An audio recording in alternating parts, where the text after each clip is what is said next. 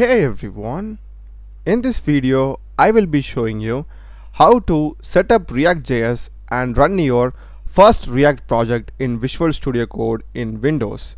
So let's get started.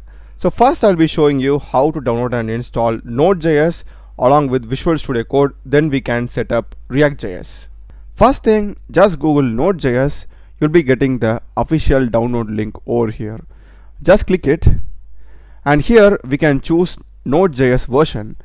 This is the latest version, version 22 and if you click this drop down you'll be able to see the older version of Node.js. Just leave the rest to the default options and if you scroll down we'll be having the MSI installer as well as the zip file.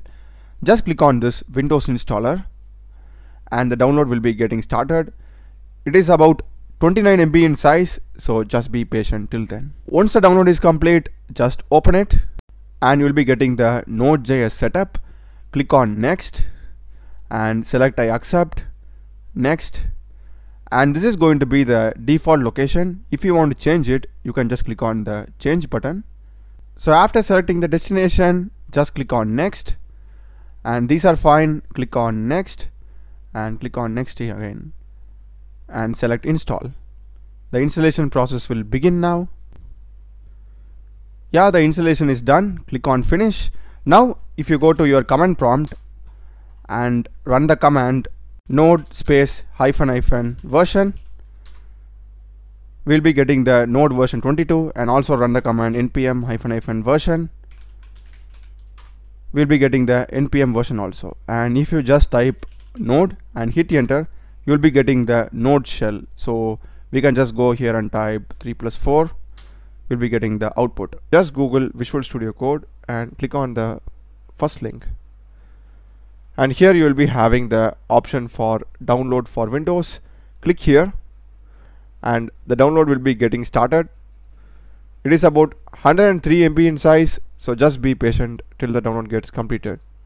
So once the download is complete just open it and we'll be getting the setup. Just click on I accept. You can just read it through.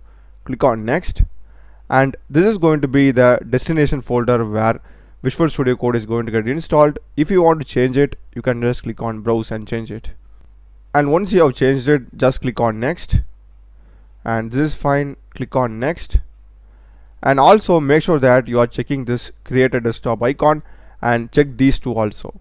So by this way, you'll be able to directly right click on a folder and open it by using Visual Studio Code. So it's a good feature. You can just check everything and click on next. And yeah this is the destination location and every other things that we configured earlier. Click on install. So once the installation is complete just check this and click on finish. So you'll be getting an interface like this. So now let me show you how you can run a simple HTML file over here. So you can just click on this explorer icon and we'll be having this open folder. So click here and just go to the desired location and open a folder. So I'll just go here and uh, create a new folder like this.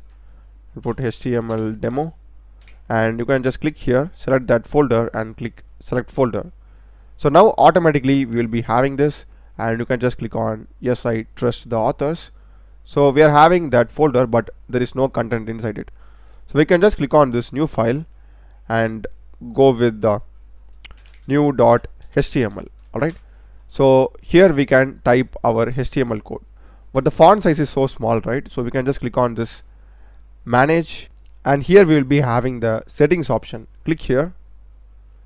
And this is the font size. You can just change this to like 35 or something I guess. Yeah that's pretty good.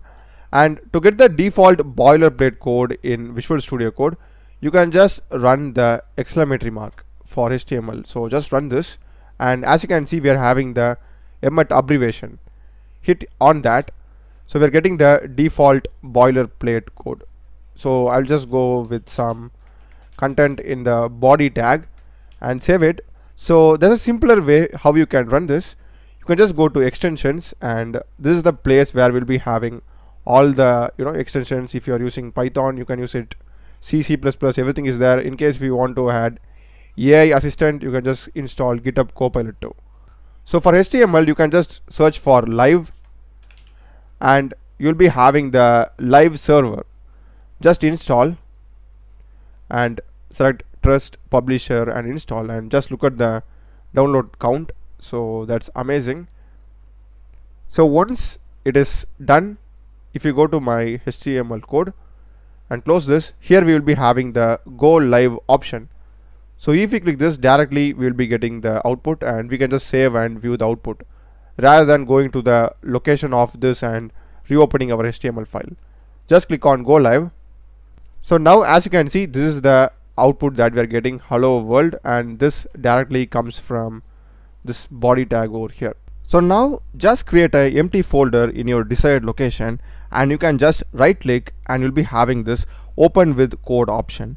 In case if you don't have that option, you just need to go to Visual Studio Code, select file and open folder. So just open that particular folder you want and you'll be getting that in Visual Studio Code. Just select yes, I trust the authors and that particular folder will be over here as you can see React demo. First thing we need to install few extensions which are specific to React.js. So just go to extensions and just search for React. There are two extensions which I would recommend you to install. One is the simple React snippets. Just click on install and trust publisher and install. So it has around 5.5 million downloads. This basically has so many shortcuts. So to give you an example, as you can see if we just type cc it will automatically create this boilerplate code we just need to give the name of our functional component that's how it works and these are the shortcut along with the mapping. So in case if you type UEF it will literally create the use effect hook for you. Just a quick way of coding. And next one is you need to also have this one which is the ES7 this has around 15 million downloads. So just install both. There are two ways to create a React project. One is by using the create React app and next one is using by Vite. So the create React app command has been depreciated and Vite is currently the most advanced feature. So what I would recommend you is in case if you are just going to build a React project for your personal purpose like just a local project you aren't going to go for production or something you can just go up with create react app but in case if you are planning to deploy it and move it to production like a consumer based app in that case I would recommend you to go with Vite. So now I will be showing you how to create both by using the create react app command as well as the Vite command. So first let's go with create react app. So for create react app you just need to run this particular command which is npx create hyphen react hyphen app space your application name. So I will just copy this and go to your Visual Studio Code terminal new terminal and just paste the command and hit enter so after you run this command it will install some react packages like react react dom react scripts. So just be patient. It will take like couple of minutes. So once all the necessary libraries are installed you'll be getting some message like this in the console.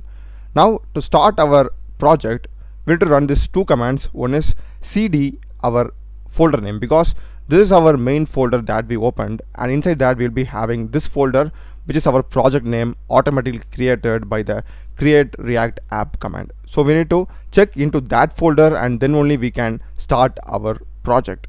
So just copy this command and paste it and run it. So now we are inside this my app folder and now we can simply run the command npm start. This will automatically start our react project in the browser so we will be getting a message like this after running npm start compiled successfully and this is the localhost path where our react application has started. So automatically it will open this in your browser. You'll be having the react logo spinning like this. And here it says a message edit source slash app.js to save and reload. And we are having this learn react. If you click it it will be taking you to the official react documentation you can just click on learn react and here you'll be having lot of sample code and stuff. You can just play around with it. So now let's just go and try editing this default application.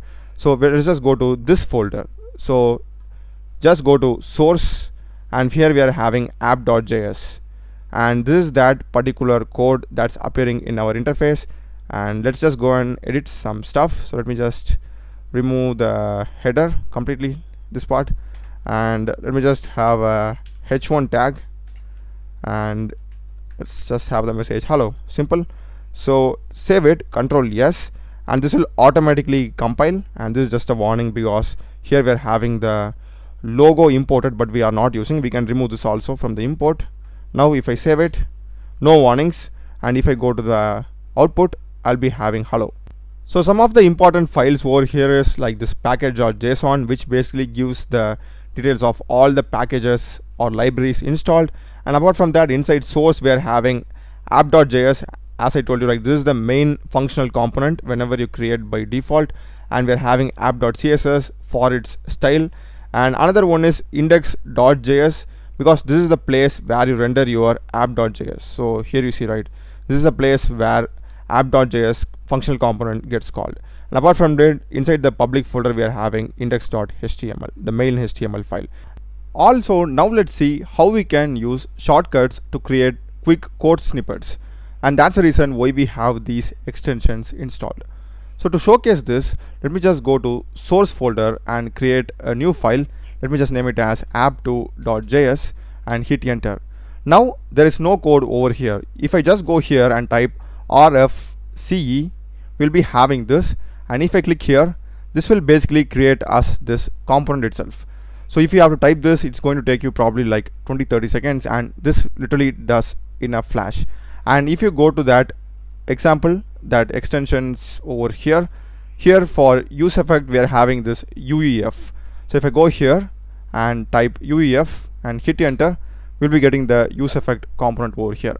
And I'm also getting some autocomplete code. The reason is because of these two extensions which are github copilot and github copilot chat. So you can also like install this. This is also free to use. You will be getting the IntelliSense and also AI chat interface through which we can either copy paste the code here or directly link the file and ask questions. And that's with create react app. And now let's see how we can do with Vite so just google react.js you'll be having the first link as react.dev which takes us to the react documentation. Here just click on learn react. Here we are having installation and just select build a react app from scratch. And here we are having Vite so what we can do is we can just copy this command and same stuff. Just go to the terminal of your folder and paste it. Hit enter. And just press Y. Enter so it is asking us to select a framework. If you use the arrow keys as you can see that green bullet is moving. Just go to react and hit enter. And next it's giving us a chance to select the variant. We have the typescript javascript react router and stuff. So let's just go with javascript. If you want to go with typescript absolutely you can go. I will just hit enter over here. And that's it. It has created us the project and we have the similar set of files. We're having the source app.jsx and the other stuff is quite similar. And we need to run three commands over here which is cd the one that we did earlier and also npm install because here we aren't having the node modules folder. So let's just do it. Just copy this and move to the directory and run npm install to install all the packages. So this will take some time. Just be patient till then. So we are done with that and next one is going to be npm run dev to start our project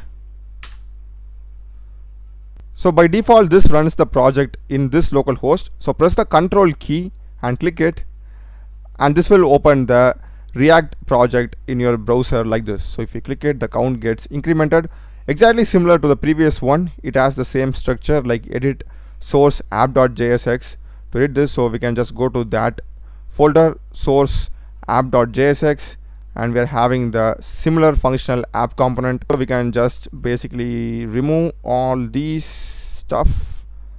Yeah empty fragment and we can have a h1 tag. Let me just go with the same hello and save it.